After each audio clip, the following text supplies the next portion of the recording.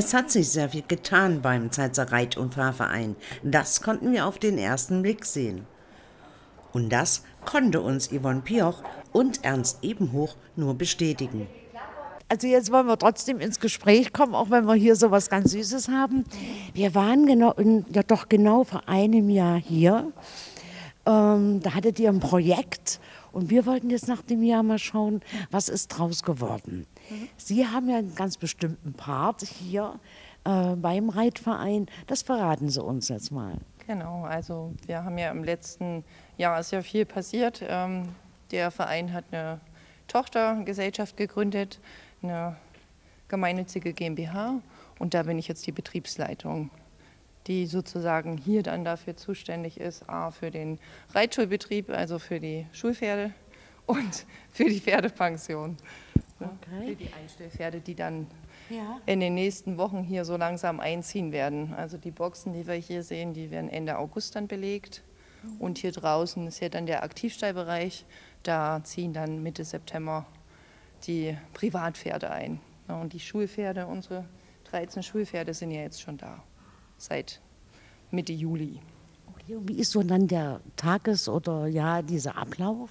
Also momentan ist es so, dass wir ja äh, Reitferienkinder da haben. Die kommen früh um neun und äh, das Programm geht dann immer bis halb vier. Ja, und nachmittags haben wir dann immer noch ein bisschen Reitunterricht, mhm. sodass unsere Pferde sich erstmal hier dran gewöhnen können. Das ist ja auch für die erstmal was Neues, aber das war erstaunlich, wie schnell die sich hier auch in dem Laufstall oder Aktivstall zurechtgefunden haben. Also ist sehr schön. Ja, das merkt man ihnen, das merkt man ihnen auch an. Ähm, das Interesse jetzt von Seiten äh, äh, der Leute, der Menschen, das ist groß? Das ist sehr groß. Also wir haben schön Nachfrage und machen ja wirklich auch schon Reitunterricht oder Reitunterricht. Ponyschule nennen wir das. Das ist das neue Angebot seit letztem Jahr. Im Sommer machen wir das für Kinder ab drei. Da eignet sich der kleine Mann hier natürlich besonders gut für die kleinen Mäuse ab drei Jahre. Ja, und das steigern wir dann bis neun. Das ist Ponyschulthema und dann geht es in den richtigen klassischen Reitunterricht über. Ja. Ja. Und jetzt wollen wir Ihnen den kleinen Mann natürlich auch mal vorstellen. So, wer ist das? Das hier? ist unser Paco. Der ist acht Jahre alt und das ist ein Mini-Shetty. Also der wird nicht größer. Der ist schon ausgewachsen und frech. Ja, das haben wir vorhin gesehen, ne? wo er ein bisschen ausgebüxt ist. Mal genau. gucken. Ja, wenn Eltern jetzt oder Kinder den Wunsch an ihre Eltern richten, mhm. sie würden ganz gerne zum Reiten, wie auch immer, wie kommt man an euch ran? Also einmal übers Internet, ne, über unsere Homepage, einmal über den Reitverein, ganz äh, normal www.reitverein-zeitz.de und dann die Tochtergesellschaft, das ist die Equitanas Reitsport GmbH und da gibt es auch eine Internetseite mittlerweile, da stehen die Kontaktdaten alle drin. Ne, oder ähm, ja, man kommt einfach mal hier vorbei. Also das passiert auch ganz oft, dass die Eltern einfach kommen und dann machen wir einen Termin aus, dann können sie mal einmal zum Gucken kommen und zugucken kommen und wenn sie dann denen das gefällt, dann kommen die auch öfter. es sind ja auch, heute habe ich gerade gesehen, sehr viele Kinder da. Genau. Das ist so, die werden so Kutschfahrten gemacht? Nee, Kutschfahrten machen wir mit, den, also mit der Gruppe jetzt nicht. Das ist wirklich Ponyschule. Die Kinder kommen, ne, die Kleinen, die sind immer eine Stunde da. Dann lernen die erstmal, wie sie Pferde putzen. Ne? Das, den Umgang mit dem Pferd, der ist wichtig, dass sie das auch von Anfang an mitmachen. Und dann bauen wir das immer ganz spielerisch in irgendein Thema ein. Also ich sag mal, wir gehen für Pferde einkaufen. Ne? Das sitzen hier oben, müssen so ein Tablett transportieren. Mhm. Ne? Dann müssen sie Heu kaufen und Wasser kaufen. Und das so halt, ne? dass man die Kinder da auch ein bisschen beibringt, wie viel Wasser braucht so ein Pferd am Tag, wie viel Heu, ne? Kraftfutter, wie viel Bewegung. Sowas lernen die da, spielerisch. Immer eingebaut in irgendein Thema und du bist nicht frech. Okay, ja, dann wünsche ich ganz einfach, dass wir dich jetzt hier entlassen. Du wirst unruhig. Äh, weiterhin viel Spaß und viel Erfolg. Dankeschön erstmal. Vielen Dank. Seit 1968 ist Ernst Ebenhoch der Vorsitzende des Zeitzer Reit- und Fahrvereins. Pferde sind einfach sein Leben. Ja, Herr Ebenhoch, wieder mal bei Ihnen, wieder mal hier beim Reit- und Fahrverein in Zeitz. Wir sind jetzt hier auf dem Gelände das dritte Mal. Wir haben ja damit die Grundsteinlegung und das, so einen Spatenstich äh, mitgemacht. Wir haben im vorigen Jahr, es ist fast ein Jahr her, im September war es. Ich habe nämlich noch nachgeschaut. Ja, also gab es ja eine Zuwendung auch, damals noch mit dem Minister Stahlknecht.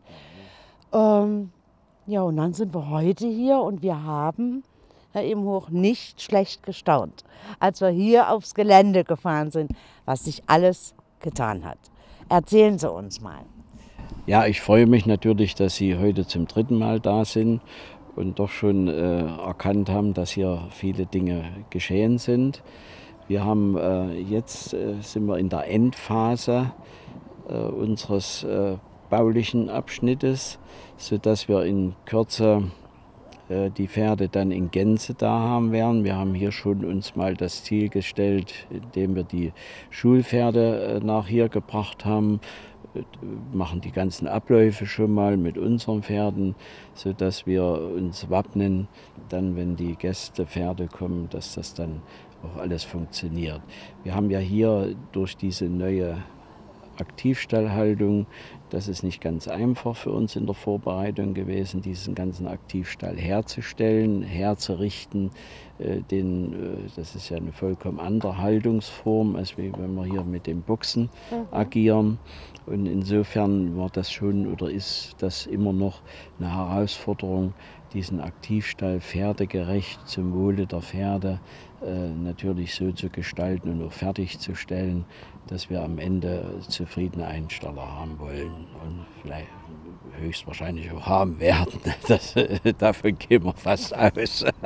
Ja, das würde ja. ich davon meinen. Ja, und die, was man auch mal erwähnen sollte, wir haben ja hier einen ganz Teil einheimische Firmen äh, an, tätig gehabt äh, und wenn ich daran denke, jetzt ist es sehr aktiv. Wir sehen hier gerade die Auslegung der Bodenplatten für diese Großbedockform.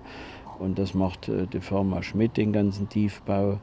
Dann haben wir mit SMR ja die äh, Gründungsfragen gemacht und viele andere Firmen, die hier regional äh, sind, Elektriker, Fliesenlegern, alles was so ist. Da haben wir sehr darauf geachtet, dass wir sie auch hier mit einbinden. Und äh, somit äh, haben wir schon einen ganzen Teil von Menschen, die sich auch einbringen, können sagen, du, hier haben wir auch unseren Beitrag geleistet, hier haben wir auch was getan. Und das denke ich mal, diese Region äh, in sich bindig zu machen, das muss auch unsere Aufgabe bleiben. Und, und dass wir auch sagen, wenn wir jetzt so eine Reitanlage hier gestaltet haben, die uns bis dato doch recht äh, gut, äh, sage ich mal, äh, ins Gesicht passt, ja, ähm, äh, sind wir doch äh, mit der Ausstrahlung äh, auch überregional. Das wird sich dann in Form von Lehrgängen oder von anderen sportlichen Aktivitäten zeigen, sodass wir auch neben den Anfänger-Kinderbereich, den wir eigentlich schon sehr gut im Griff haben, aber auch wieder zu sportlichen Höhepunkten kommen, Turnierbesuche, vielleicht auch wieder mal jemand zur Landesmeisterschaft schicken können. Das ist ja alles schon äh, da gewesen und soll sich so jetzt mit dieser Anlage auch entwickeln, weil diese Anlage natürlich auch diese optimalen äh, Trainingsbedingungen äh, jetzt vorhält. Wir haben ja die Sandplätze sind ja äh, praktisch Ebbeflutplätze, ist ein ganz modernes Bewässerungssystem. Dann haben wir die Reithalle, die ja immerhin äh, 62 mal 62 20 Meter in den Abmaßen des Hufschlages ist mit der kleinen Galerie für Besucher und so. Und das denke ich mal, das strahlt über der Region aus. Ja. Und äh, so können wir als Zeizer natürlich auch äh, mal zeigen, äh, dass äh, wir doch schon in die Welt passen. Und das wird ja den Zeitern nicht immer zugestanden. Das ist, das ist wunderbar. Und ähm, ja, äh, dem OB wird es wohl freuen. Ja. Ja, äh, kürzlich hatte, hatten wir einen, Landtag, einen Bundestagsabgeordneten Dieter Stier und unseren Oberbürgermeister Herrn Thieme hier vor Ort vor drei Wochen, vier Wochen etwa so. Und die waren an sich sehr begeistert und sehr beeindruckt, dass sowas für Zeitz entsteht und äh, was auch, was ja eine wichtige Erkenntnis ist, wir managen das ja als Verein. Und das ist eine sehr bedeutende Aufgabe, die eigentlich nicht hoch genug einzuschätzen ist, dass wir hier nicht Leute anstellen, die sich um diese Bausache kümmern, sondern das machen wir im Ehrenamt, äh, achten sehr, dass die Finanzmittel im Rahmen bleiben. Und bis jetzt äh, ist uns das recht gut gelungen. Und äh, wenn ich von der Bauzeit ausgehe, wenn wir im März äh, von der Grundsteinlegung gesprochen haben, dann ist es ja so, dass wir jetzt, äh, ich denke von März bis jetzt sind das 16, 17 Monate. Also wir bauen nicht immer vielleicht gerade so anderthalb Jahre und sind schon aktiv mit Pferden vor Ort. Ich glaube, das ist auch schon ein bedeutsames Ereignis, dass ja. wir so zügig hintereinander das lösen konnten. Eigentlich ganz toll, Herr Ebenhoch. Sagen Sie mal, wenn wir jetzt hier noch so schauen, was soll denn jetzt hier mit dieser Fläche, die noch ist, dann auch noch geschehen? Und dann müssen wir, jetzt müssen wir uns ein bisschen kurz fassen, weil hinter uns möchte jemand unbedingt ins Bild. Also äh, die Fläche hier, die, wo, wo wir hier gerade so bequem sitzen, ist ja die verlängerte Bettokführung. Also hier werden dann Großbettocks entstehen, wo immer drei, vier Pferde äh, zusammen draußen sein werden. Die haben also individuell jeweils einen, den, den Box, in diesem Fall hier, und ähm, die Außen, das Außenbettock und dann das Großbettock als weiter okay. und dann später in Kürze oder wenn das Wachstum soweit ist, äh, wird dann nach hinten noch äh, eine Weidefläche entstehen, wo die Pferde also alle Möglichkeiten haben der Bewegung. Und das sind Bewegungstiere und dem müssen wir so gut wie möglich gerecht werden.